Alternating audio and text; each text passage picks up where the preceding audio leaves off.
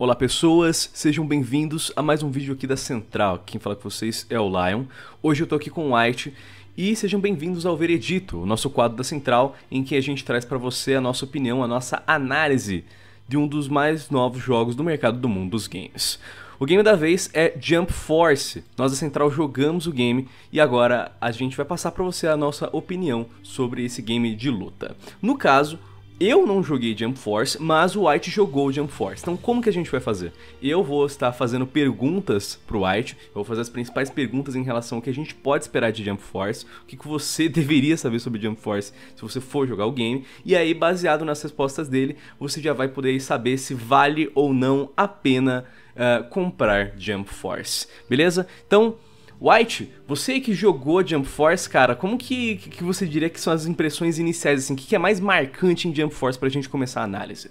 Bom, é, Jump Force, né, eu lembro muito bem da E3 da Microsoft ano passado, que teve o grande anúncio, né, o World Premiere dele. Uhum. Um game visualmente muito bonito no trailer. Certo. Ah, foi um dos games mais falados daquela conferência da Microsoft, junto com o Cyberpunk, né?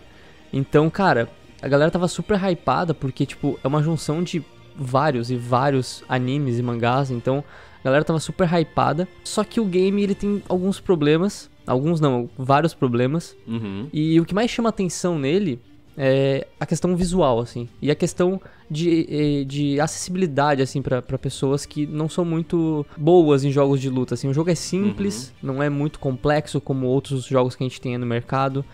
Então eu acho que é isso o diferencial dele. Ele é mais simples, ele abrange um público maior, ele é bonito visualmente, assim, as habilidades, né, os combos, é bem fiel aos animes originais, né? Uhum. Então eu acho que é isso mais é, a questão que chama atenção nele. Vamos começar então aí com, com a proposta do jogo, que é justamente, como você falou, trazer vários personagens de, de mangá e animes para a tela dos videogames. Então a gente está contando aí com mais de 40 personagens, mais de 16 séries diversas e eles estão todos juntos aí no Jump Force, justamente para fazer um, uma menção honrosa, né, celebrar a Weekly Shonen Jump, que é o, a série de mangá aí que, que tá fazendo 50 anos. Com todos esses personagens dá para imaginar que vai ter uma puta de uma história legal, né? Mas de fato, tem essa história legal? Qual que é a premissa da campanha de Jump Force, cara? Bom, a premissa é o jogo ele se passa né, no mundo real. A gente tem várias lutas em Nova York, por exemplo. E o que acontece é que os mundos né, estão colidindo, estão se juntando. Então o mundo real está se juntando com o mundo da Jump, né?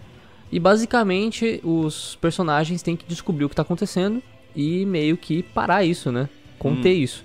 É certo. basicamente essa a, o enredo do jogo, até para não dar muito spoiler, né? Ficar falando o que vai acontecer. Uhum. Mas, cara, assim, o, o tempo que você vai passando na campanha, cada vez mais fica desinteressante, sabe?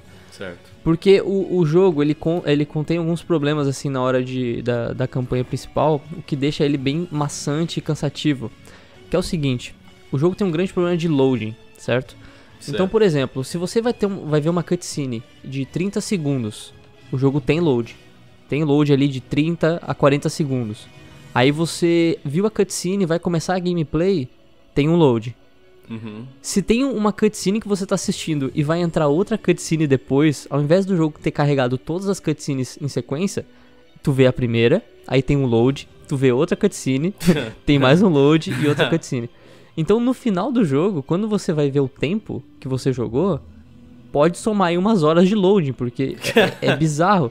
E também quando você vai abrir o menu, tem loading. Quando você vai entrar nas configurações do jogo, tem loading. Então, o, o, grande vilão disso tudo e deixa cansativo é o load. O, é, o verdadeiro é vilão de Jump Force são as telas de carregamento. Isso, claro, é, talvez foi uma péssima otimização do jogo. Joguei no PC, para quem quiser saber. E acontece que, cara, é, eles podem arrumar isso também com, uhum. com o tempo, né? Tem, temos outros exemplos aí de jogos que tiveram problemas de loading, eles podem arrumar.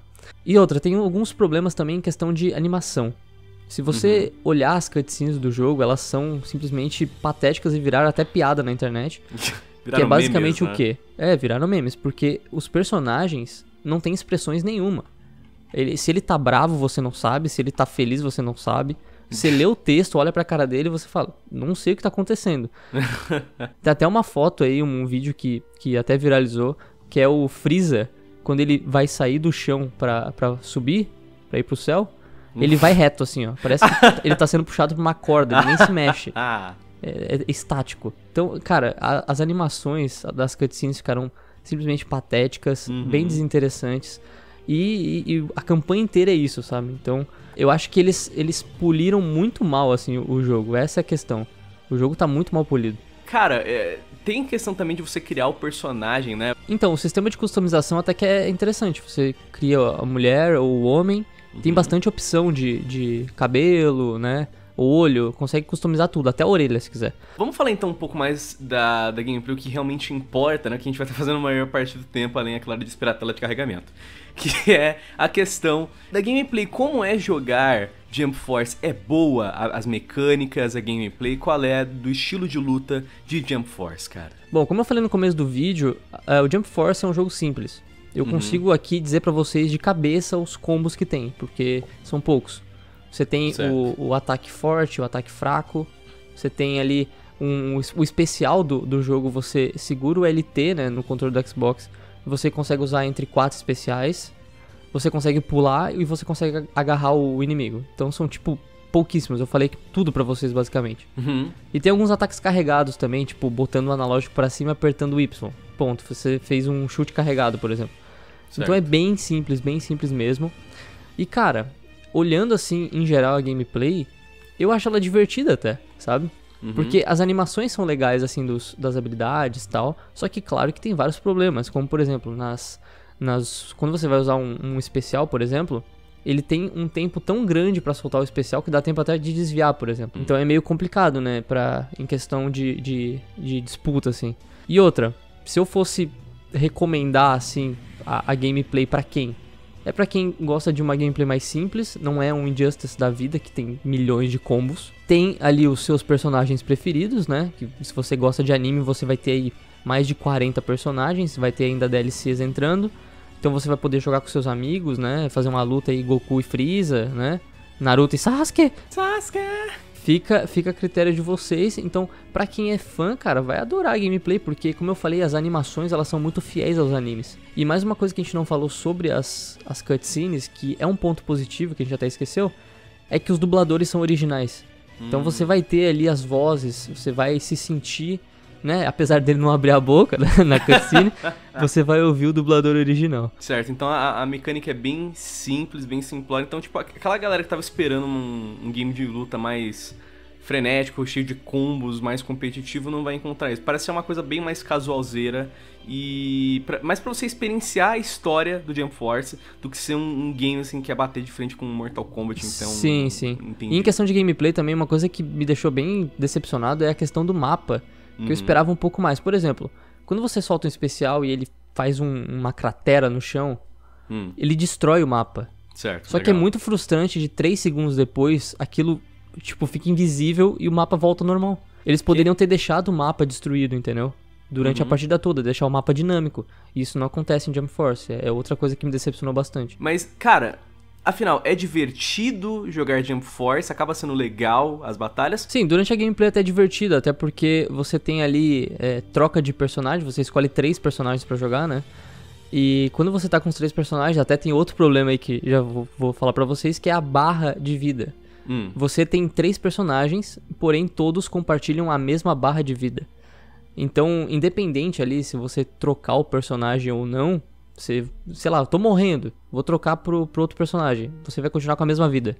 Isso não faz muito sentido, na minha opinião. Devia ter três barras, sabe? Pe- Pera aí, você pode ir pra luta com até três personagens, É, você vai com três nas de- lutas. só que a barra de vida é dividida entre todo mundo.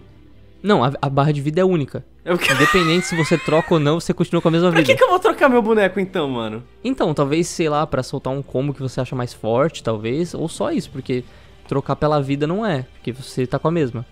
E tem outra coisa em questão de troca de personagem, você não consegue trocar o personagem durante combos. Sei lá, tu tá soltando um combo, você não consegue trocar pra outro pra continuar o combo, fazer aquelas brincadeiras, Ah, sabe? Então não Você dá pra fazer que- tipo que nem um Marvel vs Capcom que você tá lá começando um combo, chama o outro e mete o pau. Não, é- Não, tem que parar aí você a tem que luta, esperar trocar... pra trocar. Isso. Caramba, velho, isso deve. É, isso daí deve acabar com toda aquela questão da, da, da, da luta de estar tá tendo uma coisa rápida e frenética e nada, né? É, é, eu não sei por que colocaram três personagens se você não pode trocar durante e a mesma barra de vida. Meio que ficou estranho, sabe? Uhum, então é por isso, é, é, vários probleminhas assim que o jogo tinha um potencial, mas ele foi se perdendo, sabe? É, como eu disse, faltou polimento da, da Bandai nesse jogo, sabe? Certo. Então é tipo mal feito, né? A realidade é que é mal feito, não botaram atenção, não tem. Cara, assim, é complicado, né? Porque a história é fraca, as animações são ridículas, né? Vários memes aqui de cutscenes horrorosas. E o combate ainda é fraco desse jeito, cara. Aí fica difícil, Sim. né? Fica difícil. Sim. A pessoa que vai jogar isso aqui é quem curte muito mesmo anime. É, vale a pena mesmo, porque tem bastante personagem, você vai gostar. Também para jogar com dois amigos em casa, ou jogar um modo online, né? Se você curte. É, mas, mas, se você é um cara que curte jogo de, de luta, é, é, Jump Force não é o jogo de luta que você pula tá fora, pula, pula fora. fora.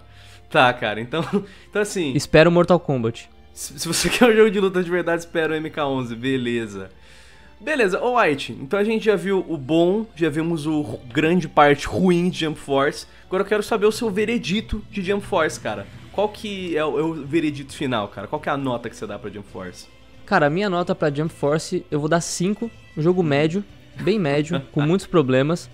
E olha, é, quanto maior o hype, cara, pior é, velho. Porque a, a galera ficou muito empolgada na E3 com esse jogo e uhum. ele foi decepcionante, sabe? É um então, jogo decepcionante, então, pra galera. É, foi decepcionante, porque o hype tava lá em cima, sabe? Uhum. A gente até tem ah, um amigo, né, que curte muito jogos de luta e ele nem quis jogar o jogo. Você vê. Só né? de ver as cutscenes e a gameplay e as uhum. animações. Então, é bem complicado, né? Mas vamos esperar o próximo jogo aí, né? Mortal Kombat, o próximo jogo de luta, que parece estar tá bem melhor. Beleza, então, felizmente Jump Force decepção, nota 5, mediano, bem medíocre mesmo, infelizmente. Esperar que a, que a Bandai Namco, né, conserte o game que, sei lá, na próxima, no próximo Jump Force eles façam melhor, né? Coloquem animações de verdade, um modo campanha melhorado. Mas temos então o nosso veredito de Jump Force. O que, que vocês acharam? Vocês concordam com a gente, com a nossa opinião aqui da Central. Quero saber a opinião de vocês. Se você jogou, deixe a sua opinião nos comentários e bora debater sobre o game, beleza? Lembrando que para ver mais análises de jogos é só checar aqui o quadro O Veredito aqui da Central, ver a playlist completa que você vê outras análises de outros jogos aqui, beleza? Enfim, galera, quem falou com vocês foi o Lyle White. Muito obrigado pela sua atenção. Espero que vocês tenham um ótimo dia, uma boa sorte nos campos de batalha e até mais. Valeu!